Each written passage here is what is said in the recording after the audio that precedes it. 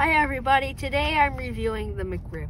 This is my first time ever eating it, and now let's open it up and see what it looks. Oh, you can see it right here. This is the McRib, and it's a little beefy barbecue burger. It's a barbecue sandwich with a lot of barbecue sauce. And now, we're gonna take a big bite of this. Here we go.